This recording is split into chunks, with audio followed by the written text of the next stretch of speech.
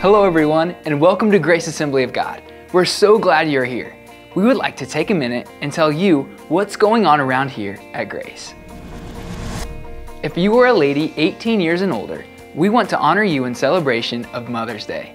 Why is this day so special? Well, without our moms, who knows where we would be? And that being said, they oftentimes are a direct reflection of the person that we are today. In each of the entrances to the worship center and in the hub, there is a small token of our appreciation for you ladies 18 and over. Oh yeah, and one last thing. Love you, Mom. District Council is coming up on May 18th and 19th.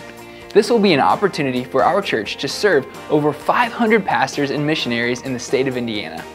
Our desire is to make their visit with us one they will never forget. In order to make this happen, there are specific volunteers that we are needing. These specific areas are greeters for the Monday and Tuesday night services, as well as food servers for the missions luncheon on Tuesday at 12:30 p.m. There are other areas as well. Please look at the District Council insert in your bulletin for these opportunities. Please fill out this insert and place it in the offering or drop it off in the bookstore kiosk in the hub if you would like to volunteer. Sunday, May 24th at 11 a.m., we will honor all of our graduates here at Grace.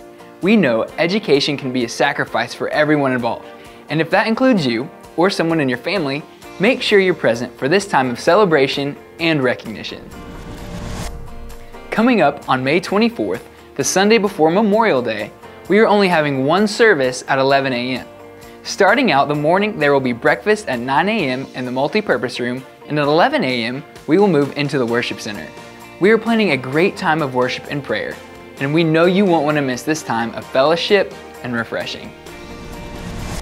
You can stay up to date with all the events that are going on by using the calendar inside your bulletin, following us on Facebook, Instagram, and Twitter at the Grace AG, or by visiting graceassembly.org. Thank you for being with us today, and we hope you enjoy the rest of the service.